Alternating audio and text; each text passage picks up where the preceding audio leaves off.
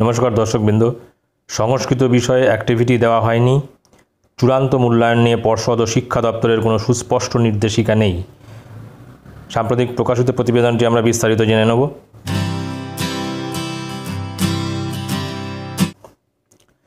সমস্ত ক্লাসের বিভিন্ন বিষয়ের মূল্যায়নের জন্য বাড়িতে অ্যাক্টিভিটি টাস্ক দেওয়া হলেও সপ্তম ও অষ্টম শ্রেণির তৃতীয় ভাষার কোনো বিষয়ের জন্যই অ্যাক্টিভিটি টাস্ক গত বছর থেকে দেওয়া হয়নি।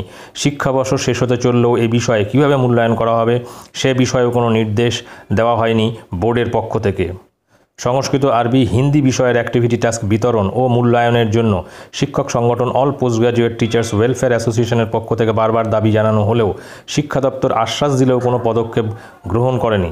এ বিষয়ে সংগঠনের পক্ষ থেকে দাবিপত্র প্রিন্সিপাল সেক্রেটারিকে বিকাশ ভবনে জমা দেওয়া হলে শিক্ষা সচিব মনীষ জৈন মহাশয়, সংগঠনের সম্পাদক চন্দন গড়াইকে ফোন করে সমস্যা সম্বন্ধে জানলেও শিক্ষাবর্ষ শেষ হতে চললেও সংস্কৃত সহ তৃতীয় ভাষার বিষয়ের মূল্যায়ন কীভাবে হবে, বোর্ড ও শিক্ষা দপ্তর পদক্ষেপ গ্রহণ করেনি।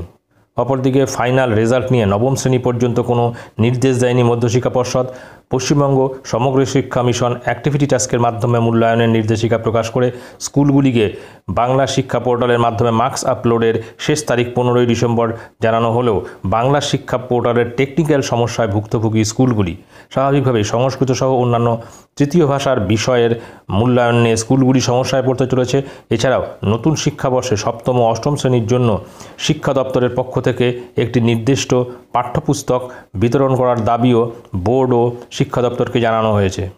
সংগঠনের সম্পাদক চন্দন গড়াই বলেন, পঞ্চম থেকে নবম শ্রেণির চূড়ান্ত মূল্যায়ন ও মার্কশিট বা স্কোর কার্ড তৈরি নিয়ে মধ্যশিক্ষা পর্ষদের কোনো সুস্পষ্ট নোটিফিকেশন ও গাইডলাইন নেই।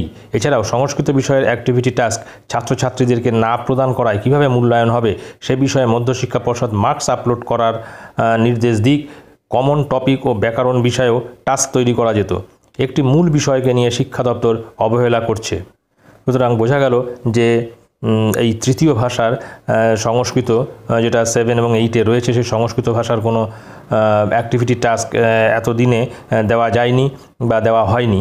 সেই কারণেই এই এই ফাইনাল পরীক্ষা অর্থাৎ ফাইনাল মার্কশিট তৈরি করার সময় এই তৃতীয় ভাষার মার্কসটা কীভাবে আপলোড করা হবে বা কীভাবে সেই মার্কসটা দিয়ে মার্কশিট তৈরি করা হবে, সে বিষয়ে কোনো সুস্পষ্ট নির্দেশিকা না থাকার জন্য স্কুলগুলি সমস্যায় পড়েছে।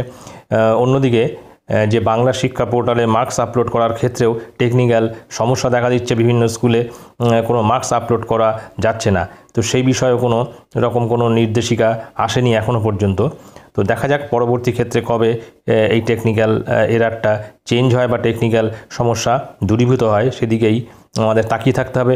ভিডিওটি ভালো লাগলে অবশ্যই সাবস্ক্রাইব করবেন। চ্যানেলটি পরবর্তী আপডেট ভিডিও পাওয়ার জন্য ধন্যবাদ।